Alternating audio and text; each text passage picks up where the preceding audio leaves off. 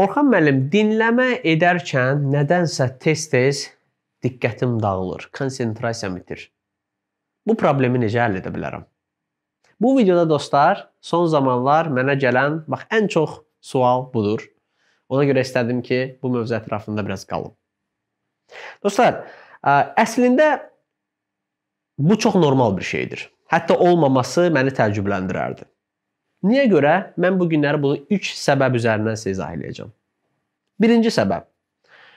Dostlar, biz bilirik ki, ən azından mənim bildiyim qədər sizin çoxunuz bura qədər ingilis dili öyrənərkən ənənəvi metodlara və üslublara üst tutmuşdunuz. Məsələn, məktəb dövründən başlayaraq elə universitetlərdə də və kurslarda da əksər kurslardan söhbət gedir. Üstünlük verilən metod nədir? Qrammatika yönümlü dil öyrədilməsi. Yəni siz çoxlu qrammatik mövzular işləyirsiniz, onun üzərində qalırsınız, müəllimlə yoxlanışlar aparsınız və bunun da yanında paralel şəkildə sözlər əzbərləyirsiniz. İndividual sözlər əzbərləyirsiniz və sonradan təbii ki, onları bir yerə gətirib cümlə qurmağa çalışıb danışmaq istəyirsiniz. Lakin biz artıq bunun zərərləri barədə sizlə danışmışdıq. Və bizim videolardan sonra Fərz edin ki, siz artıq keçdiniz dinləmə üslubuna. Necə ki edirsiniz indi. Dostlar, bir sual verim. Yəni sizcə bu keçid bir gün içərisində uğurlu şəkildə baş verə bilərmi? Yəni insan beyni bir neçə illər bir standartlarla işləyirsə, təbii ki, bir gecənin içərisində onu dəyişmək eləsə də asan da olmayacaq. Çünki beyin dediyimiz əslində çox qəliz bir orqandır. O əsasən avtopilotda işləməyi sevir vərdişlərin gücünə yaşamağı sevir. Əgər bizim o özümüz üçün proqramlaşdırdığımız vərdişlər qrammatika yönümlü üsuldursa və təbii ki, o bir gecənin içərisində o dinləmə üsulunu xoş qarşılamayacaq. Mən bir bir analogiya aparmaq istəyirəm, çünki beynimiz də əslində bizim elə kimliyimizdən xəbər verir. Ona görə dostlar, ilkin dövrdə bu yeni metod, dinləmə üzərindən etmək bu sizi həm çox yoracaq, çünki beyin çox enerji sərf eləyəcək. Həmçinin həmçinin də o köhnə kimliyinizə bir təhdid kimi ə, gələcək belə deyim. Və hər bir vəclə çalışacaq ki, köhnə üsullarınıza qaydasınız. Amma işin sevindirici tərəfi ondan ibarətdir ki, əgər siz təslim olmasanız, dinləmə üsulunu davam etsəniz, Çox demirəm, maksimum 3 aydan sonra artıq bu proses normallaşacaq dostlar. İkinci məsələ ondan ibarətdir ki, dostlar, bu dinləmə edərkən biz çox hallarda yenə də keçmişdən beynimizdə hər şeyi analiz etmək vərdişi qaldığına görə hətta dinləyərkən də analiz etməyə cəhd eləyəcək dili. Məsələn, burada niyə bunu belə dedi? Axı qrammatikada filan şey belə idi.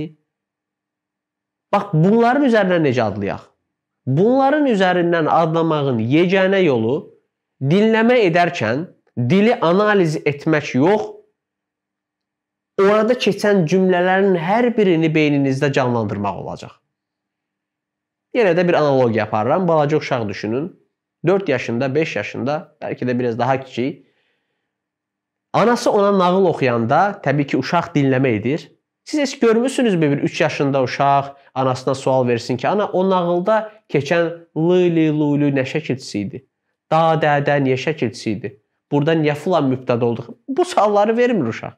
Ümumiyyətlə qrammatikanı bilmədiyinə görə, daha doğrusu qrammatika haqqında bilmədiyinə görə bu sualları vermir. Amma uşağın verdiyi başqa suallar var. Uşaqlar bu sualı verir. Ana, filan personaj niyə filan personaja məsələn qarşı getdi? Onlar niyə dənizə getdilər? O onu niyə vurdu və s. və s. Görürsüz, uşaq mənaya konsentrasiya olur. Bax dostlar, listening-də də siz də bu cür davranın. Dili analiz etməyin, mənasını başa düşün. Və həmçinin də necə ki biz öz ana dilimizdə kitab oxuyanda avtomatik surətdə beynimiz o kitabın sanki bir kinosunu çəkir, siz də dinləyərkən canlandırın. Ondan sonra görəcəksiniz ki, bu emosional e, yaddaşımız dediyimiz necə sürətli şəkildə öyrənəcək və o işdən zövq alacaq.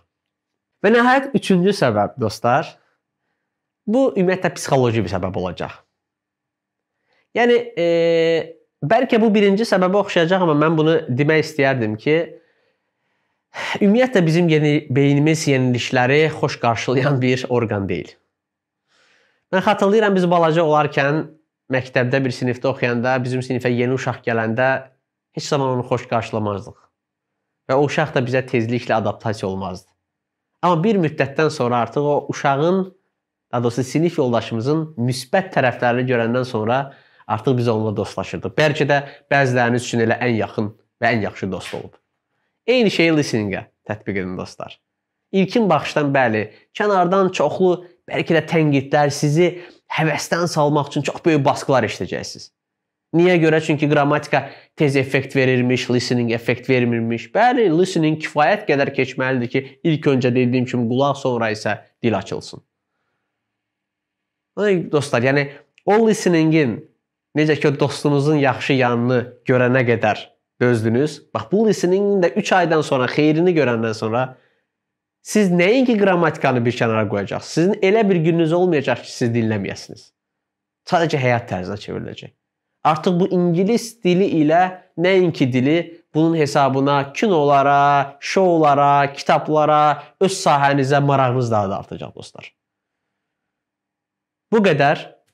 Ümid edirəm ki, gətirdiyim bu 3 səbəb bundan sonra sizin ingilis dilini dinləyərkən tam olaraq konsentrasiyalı olmağınıza kömək edəcək dostlar.